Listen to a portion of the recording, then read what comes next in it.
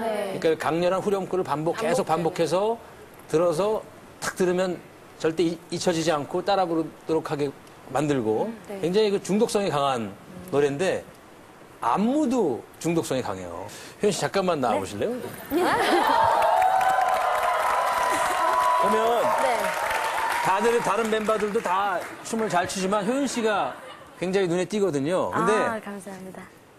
그 유명한 지지지의 발 동작 있잖아요. 아, 네. 그건 누가 만든 거예요? 안무. 개다리춤. 네, 누가 만든 거예요? 안무 네, 하시는 분이 만든 안무가 선생님께서 딱 그 안무를 제안 받았을 때 아, 이, 이 춤에는 이 노래는 이 춤이다 이렇게 생각이 들었나요, 바로? 어, 아니요, 저희는 네. 개다리 춤이 이렇게 많은 분들이 따라해 주시고 좋아해 주실지 몰랐어요.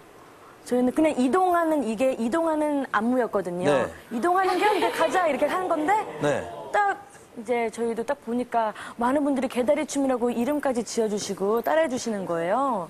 네. 그 춤을 출 때, 이 개다리 춤을 출 때 가장 중요한 포인트가 뭔가요? 어떤 느낌으로 해야 되나요? 확, 확 꺾어야 하는. 이게, 이게 긴 다리 네. 스윙가 되게 유리하긴 한데. 네. 하나, 둘, 이렇게, 왔다 갔다. 네. 한번 해보시겠어요? 아니, 전 다시, 아니, 저는. 저는요. 저는 다리 동작 움직이면 이거밖에 못해요, 사실은. 어, 비슷해요. 얼추 비슷해요. 이거하고 비슷해요? 네, 근데. 진이, 진이, 진이. 뒤꿈치가 아니라, 이거는. 뒤꿈치가. 앞꿈치. 앞꿈치. 아, 뒤꿈치 아니라 앞꿈치. 네. 어, 제가 한번 해주세요. 고맙습니다.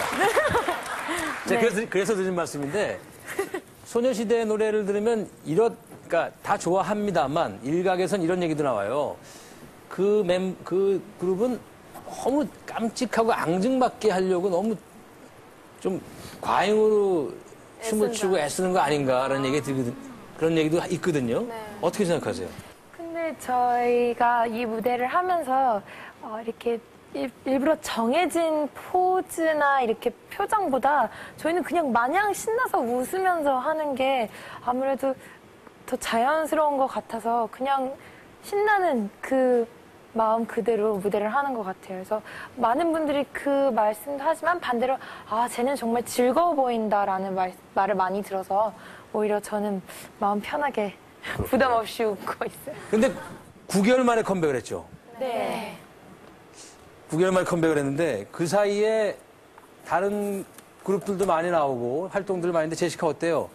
좀 잊혀질까봐 좀 초조하고 두렵거나 이런 건 없었어요? 어, 저희가 준비 기간 동안 그런 생각을 좀 했었어요. 저희가 어, 팬분들이나 이렇게 대중분들이 저희를 잊어버렸으면 어떡하지?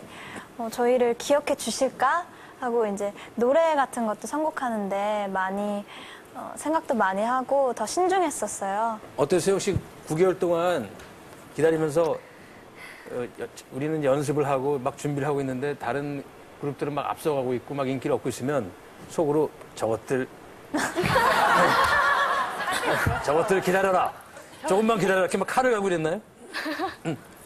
흥 이러면서 그런 마음이 조금 없, 조금이라도 없었다고 갈았죠. 하면은 너- 거짓말이겠죠. 그래서 칼을 갈고 이를 갈고. 이를 갈고 네네 그- 그래서요 그- 그래서요 그래서 근데 그 마음이 이제 뭐 그 마음이 이제 더욱더 열심히 하는 마음으로 바뀌어서 저희가 이제 지를 나올 때 되게 신중했어야 했어요. 그래서 뭐 지뿐만 아니라 저희가 나갔을 때 다른 곳에서도 보여드릴 수 있는 뭐 노래, 춤 같은 것도 더 열심히 준비했어야 했고 저 너무 속상했던 건 이제 연말에 이제 가요대 축제잖아요. 축제 분위기잖아요. 근데 작년 연말엔 특히나 정말 가요계의 그런 톱 최고의 선배님들이 나오셔서 이렇게 무대를 꾸미셨어요. 근데 너무 속상했던 게 그분들 사이에서 저희도 같이 공연을 하고 싶었고 또 막 하고 저희가 무대가 너무 하고 싶었어요. 어우, 내가 우리가 여기서 볼 때가 아닌데 지금 저기 나가서 예, 예. 나가서 막 지지지지 네. 이러는데 야. 야. 그렇긴- 이야, 미치가 완전히 네, 그래서 막 음. 그래서 어, 떤 마음이었냐면 2008년 연말에 2009년 연말 시상식을 준비하자 막 이러면서 네.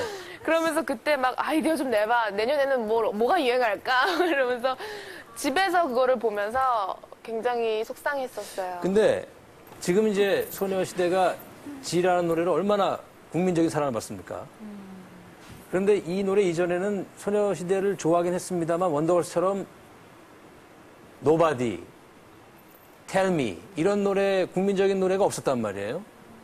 그 전에는 좀 그렇다면 그때는 아 우리는 왜 이런 그런 노래가 없을까라고 바람을 가져본 적 없었어요? 없었어요. 왜냐면 그럼 노래가 히트돼도 그만이고 안 돼도 그만이에요? 아닙니다. 뭐 니들은 그런 게 아니라 네. 저희가 저희 음악 색깔이라는 게 또 그런 것도 있잖아요. 그래서 저희도 천천히 천천히 차근차근 보여드릴 예정이었기 때문에 처음부터 미리 앞서 나갈 필요는 없고 차근차근 어, 처음에는 굉장히 어, 소녀스러운 음악을 했는데 지금 음악을 보면 좀 더 세련되고 성숙된 것처럼 저희는 이렇게 성장하는 모습을 보여드리고 싶어서 좀 욕심보다 차근차근 해야지라는 마음을 갖고 있었어요. 그런데 뭐 차근차근 알아봐 주는 정도가 아니라 지금은 막 폭발적으로 알아봐 주시고 계시거든요. 정도는. 지금 어, 한 포털 사이트에서요. 어, 소녀시대 이미지 등록 건수가 무려 55만 건입니다. 그런데 이제 비슷한 다른 그룹들을 보면 뭐 15만 건, 10만 건 거의 압도적이에요. 소녀시대가 예. 인원수 아 몰랐어요? 인원수가 많아서 보통, 보통, 걸그룹 인원에서 곱하기 4 정도 하면 저희가 나오는 거죠. 그러면 18인조가 나오면 뭐 110만 건 이런 겁니까? 꼭 그 인원수 비율, 비율 꼭뭐 맞지는 않겠습니다만 어쨌든 굉장합니다. 그런데 인기 요인을 보면 아주 그 율동이나 가, 가창력도 그 율동도 아주 좋고 또 아주 자연스러운 또 옆에 있는 우리 여동생 같고 친구 같고 이런 느낌이거든요.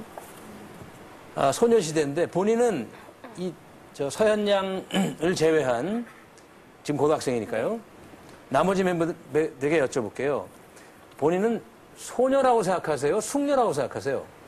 보통 일반적으로 10대를 소녀라고 하잖아요. 20살이 넘으면 숙녀인데 그냥 저 손을 들어주세요. 하나, 셋, 하나, 둘, 셋 하면. 아, 근데 눈치 봐가면서 들지 마시고 저희, 저희 눈 감고 할게요. 눈 감, 어, 뭐 시키지도 않는데 잘하시네요. 어, 그럼 뭐, 전 더 좋죠. 자, 눈 감으시나 뜨나 하여튼, 저, 자, 자신 있게 들으셔야 돼요. 다 결정했어요? 네. 본인이 소녀라고 생각하는 사람 손 들어보세요.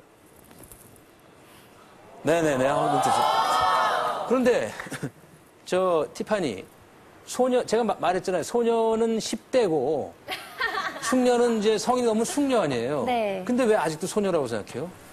어, 소녀시대를 하면서 더 느낀 것 같아요. 저는 한참 저희가 준비를 하면서 굉장히 더 여성스러워지고 싶고 성숙해지고 싶은 것을 굉장히 많이 애를 썼었어요, 한때. 근데 생각해보면 아직도 저희는 배우는 게 너무나도 많고 너무 어려요, 제 자신이. 지금 봐도. 그래서 아직까지는 소, 소녀라는 게 더 강하게 의식이 됩니다. 나이는 성이 됐지만 마음은 소녀이다. 그게 소녀시대의 매력이 아닐까요? 그러면 예를 들어서 어, 이 그룹이 한 10년, 뭐 15년 뒤에 네. 어, 뭐 주부 시대 또는 뭐 중만 시대. 성인 시대 아니 성인 시대. 성인 시대 그러니까 그래도 그래도 계속해서 소녀의 마음을 갖겠다 이 말씀인가요? 네, 또 저희는 그렇지만 뭐 많은 분들이